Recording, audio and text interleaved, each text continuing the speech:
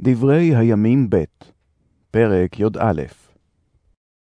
ויבוא רחבעם ירושלים, ויקהל את בית יהודה ובנימין מאה ושמונים אלף בחור עושה מלחמה, להילחם עם ישראל, להשיב את הממלכה לרחבעם. ויהי דבר אדוני אל שמעיהו איש האלוהים לאמור. אמור אל רחבעם בן שלמה מלך יהודה, ואל כל ישראל ביהודה ובנימין לאמור, כה אמר אדוני, לא תעלו ולא תילחמו עם אחיכם, שובו איש לביתו, כי מאיתיני יהיה הדבר הזה. וישמעו את דברי אדוני, וישובו מלכת אל ירבעם. וישב רחבעם בירושלים, ויבן ערים למצור ביהודה.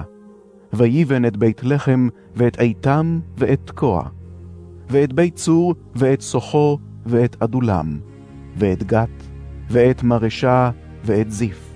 ואת אדוריים, ואת לכיש, ואת עזקה. ואת צורעה, ואת איילון, ואת חברון אשר ביהודה ובבנימין ערי מצורות. ויחזק את המצורות, ויתן בהם נגידים, ואוצרות מאכל, ושמן ויין. ובכל עיר ועיר צינות ורמחים, ויחזקם להרבה מאוד, ויהי לו יהודה ובנימין. והכהנים והלוויים אשר בכל ישראל התייצבו עליו מכל גבולם. כי עזבו הלוויים את מגרשיהם ואחוזתם, וילכו ליהודה ולירושלים, כי הזניחם ירבעם ובניו מכהן לאדוני.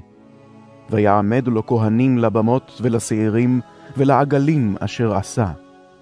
ואחריהם מכל שבטי ישראל הנותנים את לבבם לבקש את אדוני אלוהי ישראל, באו ירושלים, לזבוח לאדוני אלוהי אבותיהם.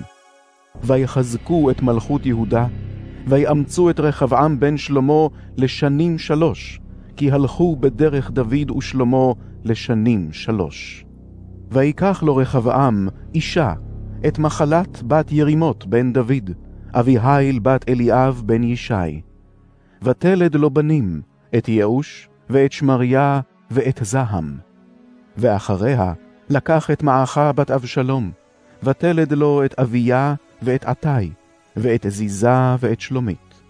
ויאהב רחבעם את מעכה בת אבשלום מכל נשיו ופילגשיו, כי נשים שמונה עשרה נשא, ופילגשים שישים. ויולד עשרים ושמונה בנים ושישים בנות. ויעמד לראש רחבעם את אביה בן מעכה לנגיד באחיו, כי להמליכו. ויבן, ויפרוץ מכל בניו לכל ארצות יהודה ובנימין, לכל ערי המצורות, ויתן להם המזון לרוב, וישאל המון נשים.